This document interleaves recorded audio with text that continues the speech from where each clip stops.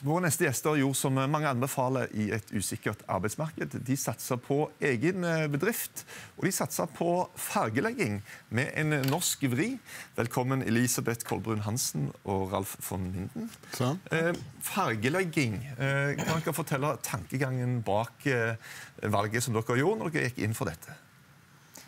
Altså, først og fremst var det kanskje ikke fargelegging som, eh, som sto i hodet på oss. Egentlig så eh, fikk vi høre at det manglet eh, litt eh, lokale produkter for f.eks. turister som kommer til Norge. Dere er jo i Bergen. Ja, ja, Mye ja. cruiseturister, f.eks. Yes, exactly. Mye troll. Ja, mye, og veldig mye som er made in China. Og, altså, det kommer sikkert mye bra derfra òg, men veldig lite lokalt. Da. Mhm. Så da tenkte vi at da måtte vi lage noe som var skikkelig lokalt og bærekraftig. Og det vil altså si at eh, Bergen, som du kan fargelegge sjøl, f.eks. Ja. Eh, Men eh, eh, det har jo vært en veldig sånn fargeleggingstrend som har gått eh, over verden. og det er vel faktisk litt sånn mindfulness eh, involvert òg i dette. Det skal være veldig sånn roende for sinnet å holde på med denne fargeleggingen. Ja, det- er jo for så vidt det, for det kobler det helt ut. Eh, Og jeg har jo ikke hatt den interessen sjøl før vi fikk den ideen her, og jeg prøvde i hvert fall et par ganger. Og, og du blir skikkelig engasjert, og du glemmer alt rundt deg. Og det er faktisk ganske gøy. Det var overraskende for en som ikke har gjort noe annet før.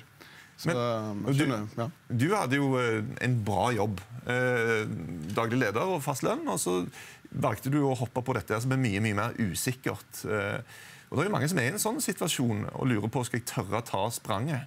Hva var det som gjorde at du tenkte at ok, fargelegging, bankers, det, det spranget tar jeg. Nei, det, At det var bankers, det tenkte vi ikke. Eh, Men vi tenker var, vi kunne lage et salgbart produkt ganske fort, og, og fort få en omsetning og fort få aktivitet. Og um, Vi har vært i gründermiljøet i Bergen en stund med litt annet prosjekt med bærekraft og sånt også, og, så vi visste en del om hvordan vi skulle få det til. Og vi hadde personlig lyst på en, prøve en ny livsstil, prøve noe annet, bygge opp noe eget, og ikke minst jobbe med min kone og ha den friheten som det innebærer.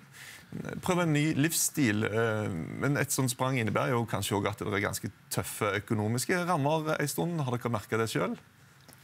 Ja, det er vel egentlig strengt tatt å bruke litt mindre penger. Eh, Men det er også veldig, sånn, det er veldig bærekraftig å, å leve med litt mindre forbruk òg. Så det er veldig i tråd med, med måten vi tenker på i forhold til eh, bøkene og stort sett egentlig alt. Så ja. Bare shoppe mindre. Være litt eh, kreative på måten vi løser hverdagen på. Men dere har seks unger til sammen hjemme. De får julepresanger, eller? De får bøker. De får det er mye fargelegging i romjulen det, altså. Ja, nei da, vi skal fikse det. Ja. Men eh, dere eh, har altså begynt vel med Bergen, var det først? Ja. Hvordan gikk det når dere eh, lagde den boka?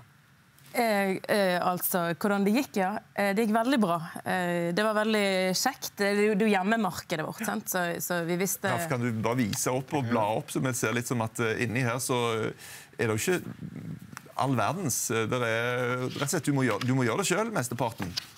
Fargeleggingen, ja. Ja, ja, ja. Ja, ja, det, er jo, det er jo en motivasjon. Da, sant? Altså, Bergen er best i farger.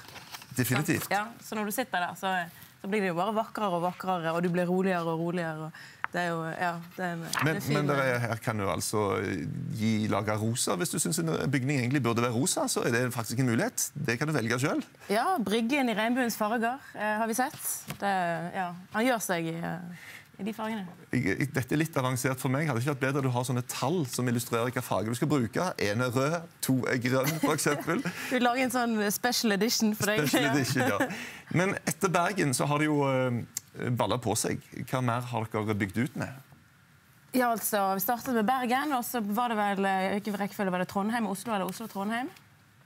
Og så dro vi rett og slett eh, utenlands og tok Island her. det var gøy. Det, det var et uh, eksotisk valg. eh, men er det jeg håper å si, Dere må jo tenke kommersielt òg. Er det penger i det? Island har jo fryktelig mange turister. Altså det, er en, det er en egen Facebook-side for uh, fargeleggingsinteresserte på, på Island som har 5000 medlemmer. Ja, så det er jo en prosent, faktisk. Eller i hvert fall en betydelig eh, del av den islandske befolkningen. Ja. Og i tillegg til at de har en eh, fem millioner nye turister hvert år. Så det er jo det markedet vi tenker er det langsiktige markedet. Men er det sånn at dere skal ta over verden? liksom? Altså, det er ikke Ja, ja. grenser for hvor langt dere kan rekke ut? Nei. Eh, altså det som, er, det som er litt av eh, eh, tanken bak disse bøkene her er at vi skal produsere de lokalt. Ja. Så om Så uansett så skal det lages i Bergen? Nei, nei. nei. Lokalt der de skal selges. Ja, ja. Er den lagd på Island, da? Nei, ikke foreløpig. Dette er en slags prototype. Vi er litt i uh, testing og feiling, prøvefasen. Uh, next edition, på sin neste utgave, den blir nok trykket der. Vi har snakket med trykkerier der og prøver å eh, hente inn mest mulig grunnlag for å ta gode valg. Da. Uh, men skal vi lage f.eks. en bok i Taipei for eksempel, eller for København, så kommer nok boken til å bli trykket der. Eh, og Det handler om at vi har lyst til at eh, bøkene skal være kortreiste. altså Vi vil at det skal ha det miljøperspektivet. Vi vil det skal trykke, eller det trykkes på allerede 100 resirkulert papir. Eh, sant? Som sagt, kortreist hvis det trykkes der det skal selges. Ja. Eh, og gjerne da eh, det, leveres, distribueres da, av sånn som vi eksempel gjør eh, i Norge. Av en, eh, det som tidligere ble kalt en verdensbedrift og Nordnes verksteder. eh, Attføringsbedrift. heter det. Som da sitter og teller og pakker og kjører ut bøkene for Så- oss. så er det det litt- ønsker vi å gjøre. Liten bonus, dere må jo besøke stedene sjøl. Så dere får reist bitte litt. Vi har jo faktisk reist ganske mye i år til å være fattige i den forstand. Så um, bra. Men en god idé, og eh, lykke til med utvidelsen av imperiet. Ja, jo, takk.